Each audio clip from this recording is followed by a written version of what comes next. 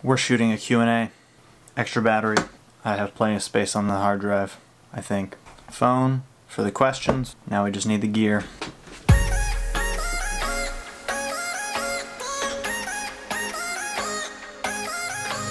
What are we doing? I don't know. Oh, oh, this is a legitimate question. We're uh, finding a place to film our Q&A video. Thought that was more of a where are we going and why are we in this hand basket video. the hand basket being everything around us. We were gonna wait for better weather to shoot an SHR Q&A video, but the people want it, so we're gonna go drive around and find a pretty place to. Oh. Why are we in this hand basket?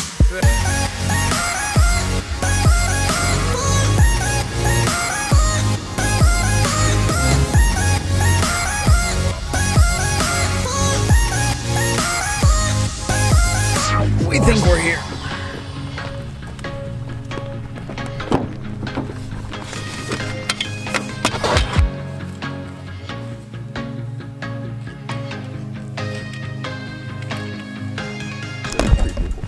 By the way, I uh, meant to mention this is one of the more recent Sasquatch sightings in the state has occurred here. It's quite smoky, but here we are. What's up guys? This is Relish and here with Dylan, aka Scrambler. Scrambler. As of uh, post our hike, we just wrapped up the Sierra High Route a few days ago and uh, fielded a bunch of questions online to do a quick Q&A about it. And so we're gonna sit here and uh, try and answer some of y'all's questions and uh, probably ramble a lot. So Yeah, I think we're both good at that. I think you're better at rambling. That's I true. am. I And especially since we haven't adjusted back to society I don't think yet. it's even close, honestly. That's fair. All right. So our first question is, where do you start when planning a trip like Hmm. this? Um, frankly, I did most of the planning for this trip. I think that's fair. yeah, you're definitely the logistics guy. Yeah. Um, and then invited Dylan to come along, um, which I've planned many more through hikes than I've hiked, um, in varying COVID 2020. to varying degrees. Um, but usually I'll start with trying to get the conditions of the trail, so understand where the trail is in the contiguous, I don't or in North America, and then uh, I'll try and find the general conditions. So, how good is the tread of the trail? Um, what are you usually walking on? How much daylight will you have? Uh, what are the historic average temperatures, precipitation, snow, etc. Um, on the trail? Uh, what's the elevation like? And all of this uh, is, I actually have a bunch of videos on a lot of these things on how I go and find that stuff.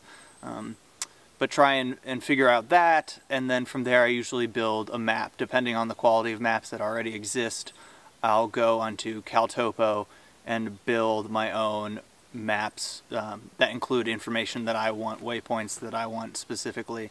Um, then you start getting permits, looking at logistics. How are you going to get to the area, and then specifically how to get to each trailhead. Then resupplies, looking at what towns are nearby. For most trails, there's already a lot of this content is at least partially put together, and then I go kind of fact check it or double check. Um, yeah, figure out how long, based on the conditions I mentioned earlier, how much daylight, how hard the trail is, uh, how many miles I expect to average a day, and then start figuring out how many days of food I need to carry and so on and so forth. So um, there's not a super clean process. Kind of all these things turn in tandem on one another, but uh, that is maybe a quick overview. Uh, I'll maybe link below to some of my other videos about the specifics of uh, some of the elements of trip planning. I guess just what I can chime in from being like an observer and more or less a recipient of your trail planning. Um, what I always see is standing out, and maybe this is particularly helpful the more north you go, but uh, weather conditions of when they allow you to start, and then I think a lot bases around how much daylight you have. Yeah. Like right now we're approaching fall, so days are getting 12 hours, but when you're hiking in, you know, late June or July in Washington, you have 16 hours of daylight. Big out, big, Um, big mile. So those were things that stood out to me when planning and Yeah. When you have daylight that or weather that affects start time, which affects daylight, uh, which affects you know how far you're going each day. Yeah. That can be a big thing in kind of calendaring it. It out. makes a huge difference, you know. It's yeah, like and then obviously the, 15 the hours tread instead of trail. 12 is, is massive. Our next question is how do you train? Uh, yeah. How do you train? Well, more or less we didn't. Yeah. I mean, I going into it, I'm in relatively good shape. I'm actually wearing a half marathon shirt, so I do some some distance running, um, hiking quite a bit. But I mean, both of us being living at sea level, most of our hikes are nowhere above 5,000 feet. Um, so we're in good shape, but not specta- spectacular shape. Yeah. Um, and I was surprised how how quickly just being on trail was like enough to like train for the trip. Yeah. I mean, our bodies adjusted fairly quickly, Yeah, and I remember our first day after our resupply, we got trail at 10 a.m. and I think we had our longest miles the whole day, or Yeah, the, of like, the like the whole trip up to that point. or- Yeah. 22. Um, but in regards to training, I mean, just being athletic, getting out and doing hikes is probably plenty. Um, just knowing that you might struggle the first few days because I think the jump from 5,000 to 10,000 is significant, let alone sea level to that much. Yeah. Um, so, yeah. I was I thought it would be harder than it was. Cuz I'm in decent shape, but I was definitely nervous about it. Yeah, I think you you were far more nervous about elevation than I was. Yeah. Next question, how did you navigate? Did you use GPS app or maps or and a compass? Um, we only used our phones. I think I would think about it differently if there was only one of us. But since we had two phones, we had a redundancy. So I built the maps on Caltopo, and then we both downloaded them offline onto our phones independently. Um, for a tr- for a route, you really do need maps um, because a lot of it you're actually route finding. Um, yeah, if I had gone by myself, I think I probably would have printed maps. I never would have had to use them unless my phone either died or was broken or whatever. Um, Yeah. but since we had two of us, even if someone's phone somehow perished, the other one would be around to keep us alive. So just use um, maps built in CalTopo based off of maps um, that people who have hiked the trail previously, Andrew Skurka, Steve Roper, basically took uh, their maps, inputted them into CalTopo, added some of my own um, details, and then we downloaded it offline. What do you think about when you hike? Um, I feel like half the time nothing. Uh, like every time I'm going uphill and like struggling, it is my mind's blank or I have some like song mantra in my head that's just going over and over and over on repeat. Um, if it's a boring hot downhill descent in the afternoon, my mind is also blank. Uh, I'm otherwise thinking about food. Um, we're making weird, funny jokes about the wilderness, like plump marmots, and insert other weird things we talk about. And then there's the occasion, like we, it's not hard enough where we have to focus on breathing, but it's hard enough where we don't want to be there, and we'll just be like super in depth in some like geopolitical conversation Yeah, I had a about the state of the world, and then all of a sudden, like two hours go by. Yeah, but a lot of times, I mean, the time just passes, and I also find it funny when like we're um, we'll have a conversation, we don't talk for thirty minutes, and then you just like continue your next sentence as if it was just said. it's like you, Definitely you don't need to like restart the conversation because nothing else has happened in Yeah. those thirty minutes. Um, yeah, I think um, I generally it's not interesting things that are going through my mind. If it's intense uphill, you're just like focused on that, and it's you're just exerting yourself, so you don't have.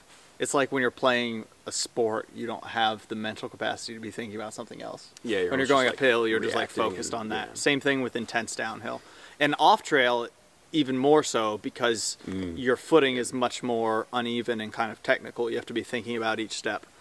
Um, and then the rest of my brain power is usually either food or I do definitely spend a lot of time just computing miles and how far we are from the current place and what time it is and how many more miles I can expect to get in that day. Um, that's definitely a significant part. Um, and then you will like sing in your head Yeah. and I will recite poetry to myself in my head. Um, specifically, Robert Service. I know. I think I have like 14 long poems memorized or something like that. So I'll uh, oftentimes just recite those to myself, and they're very entertaining. Um, that's probably the most interesting thing that goes in that I'm ever thinking about on trail. Um, and for me, it's Legally Blonde the musical. Legally Blonde. When we're approaching mile Robert Service. 175, 175. Dark times. yeah, but I think 90% of the time I'm not thinking about anything noteworthy, Yeah, that's which is kind of depressing because you like go to out and you think you're gonna solve your own problems and all the world's problems, Yeah. and everyone else thinks that too, and then you're like, I was just thinking about Yeah. cheeseburgers. yeah. Could see it. um, any other things that you think about? I think as you are like computing miles on the trail, I like will stare at the stick on the ground and like think about the journey of the stick, or like look at the rock formation and be like, oh wow, I wonder what the glaciers did to carve that. Like, I think I'm more, not even enthralled in nature, just like specifically like looking at something and just wondering about its journey in the world. Yeah. So And then both of us are often thinking about marmots and bears. Yes. Wildlife in general is kind of a Yeah. highlight. And yeah, Always disappointed when we don't see them. But we definitely spent a lot of time consumed with seeing big bighorn sheep or wanting to see bighorn yeah, sheep. yeah. Anytime there was good footing and there was like a rocky slope with good lighting, I would just like stare as we were walking. And then when we were more focused on our footing, it was like, oh, what marmots are in the immediate vicinity? and are they plump? Are they ready for hibernation? Will they be safe? Are they prepared? What was your average m- mileage per day? Uh, I think for the days that we were on trail. So Mm. our trip encompassed 12 total days, but the first day was a half day, and then uh, our first resupply in Mammoth Lakes was kind of a half day. We didn't get on until oh, 10 yeah, or yeah. 11, Yeah. and then our resupply over Bishop's Pass and Parcher's Resort was a, a full day of hiking. It was like 15 miles, but none of them were miles on our route. So I think we covered like 200 miles in like 11 or 12 days. So we still actually averaged fairly high if you just Mhm. count days Yeah. on trail. But we were averaging like 17 miles, I think. Yeah, 17 or 18. And Hardest or easiest parts of the SHR? mm, hardest part, 100% day two. Um, so this is not the pass. Pass is up there. I just want to take a nap. Dylan wants to take a nap. So do I, honestly. This has been harder than I thought it would be. I hope it. Ooh, I hope I rise to the occasion. We'll say that. Today is almost certainly the hardest day of hiking I've had in my life. We made what 13 miles in a whole day and so we are still acclimating. Um, we got up over 11,000 feet. I thought I was drinking a ton of water did not have enough and was like mildly dehydrated getting over Sky Pilot Col. Um, and we were just so gassed. I mean I think I don't know if you, this still holds true for you but it does for me. I think that was the hardest day of hiking I've ever had in my life Yeah, that, That probably was- was, the hardest day of hiking. Um, that was a n- tough day. Yeah, and then I think with the novelty of like the route, there was also just the mental drain of like, oh my gosh, can we do this? Because we struggled so much with a full day of hiking. Um, and I wouldn't say like I was mentally in a low place. Definitely at the top of Sky Pilot pole, Sky Pilot Col when I was dehydrated, I was, but that was definitely the toughest part. And then highlight. Oh, I I think it had to have been that morning going up Glacier Pass.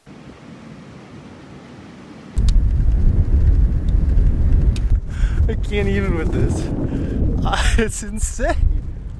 It's bonkers. Oh my god, this is insane. So there's Glacier Pass right there. So that's the Sierra Crest, and that's where we've been headed all morning. And we're, I'm kind of bummed this pass is over. I've been having such a good time. yeah. Dude, this is fucking bonkers, man. it's like every time you did this section of class three scrambling, it was a beautiful like basin. And then you do another section of class three scrambling and it was an even more beautiful and I mean that was like completely euphoric. But the whole day overall was was good. was wonderful. Yeah, we crushed it that day. I think that for me, uh, day two was is probably objectively one of the hardest days of hiking I've ever had. But I was super low going over Mather Pass. We made it to the top of Mather Pass. I'm very tired. More tired than I should be. Now we need to go way down there. Ugh, Way down there. So we can eat lunch in the shade. Got checked I by the ranger, like, and you were just Crushed behind and not happy. I, I don't know why. I mean, it was we'd spent you were a few miles bef- at the beginning of the day off trail, but then joined the JMT, and just the whole climb up to Mather Pass, I was just crushed. I remember it being pretty hard on the PCT, and didn't want to kind of like jinx it and Mm-hmm. remember that it was hard or speak it into existence. But man, I really struggled. I mean, I was like constantly get stopping at every switchback corner and heaving, and I think it was hot, but I think so like um, subjectively or mentally that was probably my hardest yeah, I think few yeah. hours. And then my high point, beating glacier passes, Yeah. super tough to beat. But there's so many awesome moments. Oh, yeah. right? Like it's just, it's almost, there's almost too much beauty where you just become, not numb, but you definitely become desensitized to how epic. Every Yeah. single place is just epic. Euphoric is like the best word to describe that day for me. highs and lows. What is your plan of action when something goes wrong? Um, I am like someone who is ultra. It's just like natural for me to have a million backup plans, like A through G.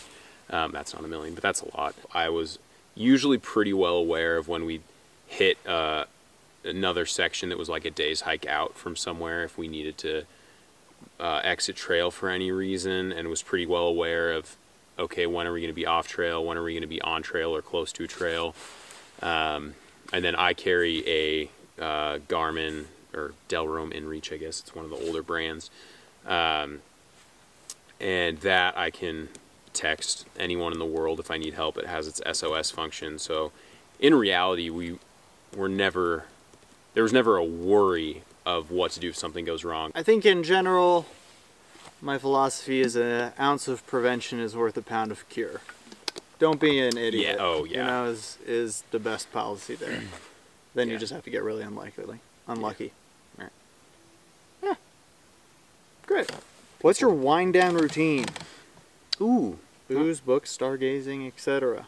you want me to take that one? Yeah. Yeah, uh, I'm a, I'm usually a pretty big routine guy. Um, so when we when we get to camp, I mean, while you still have like the energy of walking, it's just like okay, get the sleeping bag set up, get the food out you're gonna eat, set aside the food for the next day. Um, but I I think I found a lot of peace in like once I do all those camp chores as I call them, Yeah. just like sitting and just like taking time to just like be present in what's there. And you're not thinking about walking you're not thinking about how far you need to go the next day you're not thinking about your food you're just sitting there. Um, i would usually pair that with stretching so i wasn't like super tight or tense i i think we both kind of did this. We'd give ourselves a little piece of food that was like our treat to ourselves. So for me that was pop tarts every day. You that was usually nutter butters and peanut m&ms i think.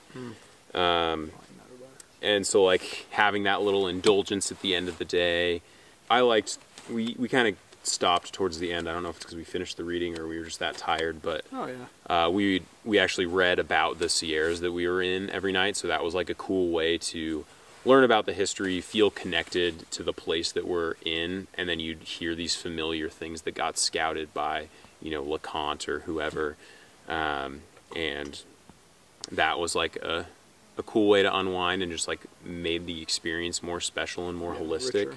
or in doing that if we were really tired it was very very easy to just pass right out Yeah. Between Mm. seven thirty and eight, pretty much. You're just so tired. hmm basically set things up, eat, try to find the discipline to stretch a little bit yeah and journal. oh That's- yeah that's what we both do. Is just try and write down the events of the day, because otherwise it can all just kind of like blend together into this one long memory of Yeah. indistinct hiking. So I think we both did that every single night. that's almost like just putting a bookend on the day because like Yeah. these are the things we did these are the passes we went over here's how my experience felt and there's like a catharsis in that of all these things that are building up when your mind's blank hiking like Yeah. we talked about earlier just kind of like come to peace and then fall Peace. asleep just fall asleep. What's up guys? Thank you so much for watching this video. If you enjoyed it, please do me a huge favor and hit that like button. Subscribe if you're into it. If you want to, drop a comment down below. I'd be happy to get back to you. And uh, until next time, I'll see you guys later.